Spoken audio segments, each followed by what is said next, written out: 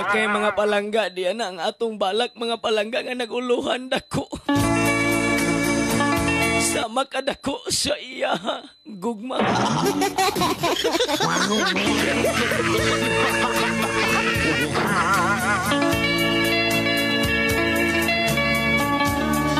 Pagkadako sa kalibutan. Pagkadaghan sa... Pagkadaghan sa mga kababainan. Pero nganong ikaw ra gyud ang akong kanunay nga makita. Bisan pa man og dili ka moagi sa akong tugkaran.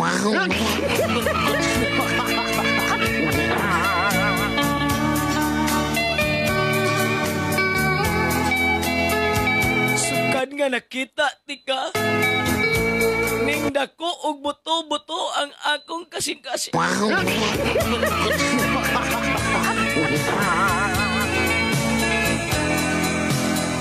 Og sa dihang nasayran ko nga talaga ka pa og single pa.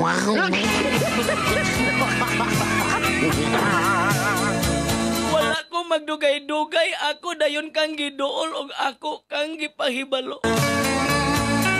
Nga ako karon nahigugma na gyud kaayo diha kanimo. Ug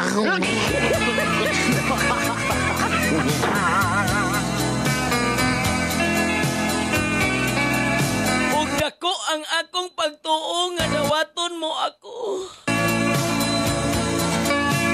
Tungod kay akong nakita ang dako. Dako.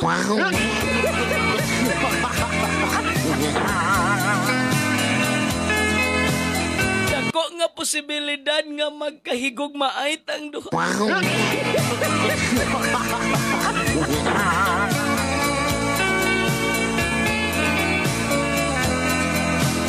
Dako ang akong paningkamot nga maako ka. Dako ang akong gihimo nga imong mabati ang akong gugma.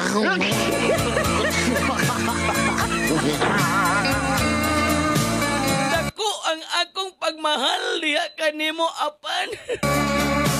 Gamay. Gamay ra ang imong nakita.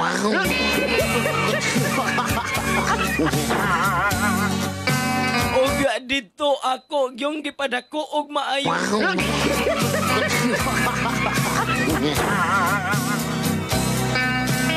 Nga mas mo dako pa ang paghigugma mo diri kanako.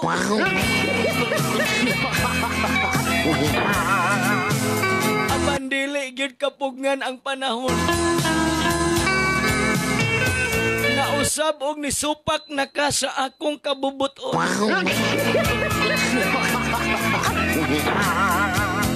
Dako na kong kaguol.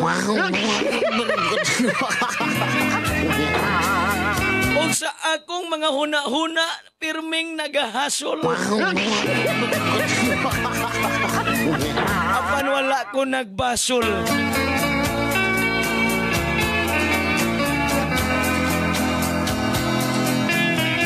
Kay hangtod karon dako gihapon ang akong gugma diha kanimo.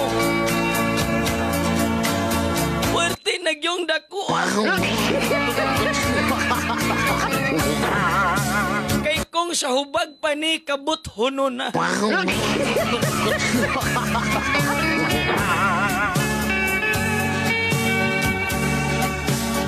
Ambot wala ko masayod kay ako na gihimo ang mga dako.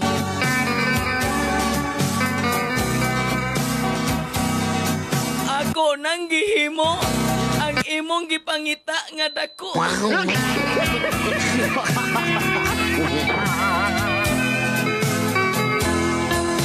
Apan imong gibalibaran.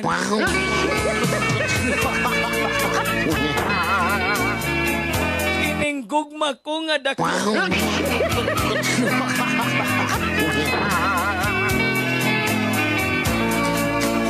Nangita kaglain uga na sipyat nagmahay kag dako.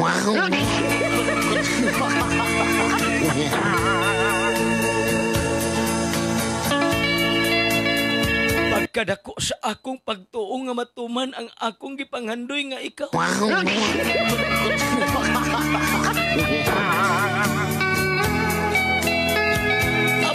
karon pagkalami og kaon na lagbahaw. Sa imong pagkahanaw.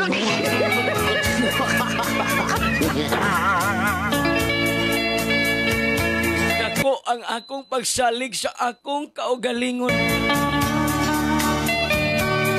Nga ikaw akoon.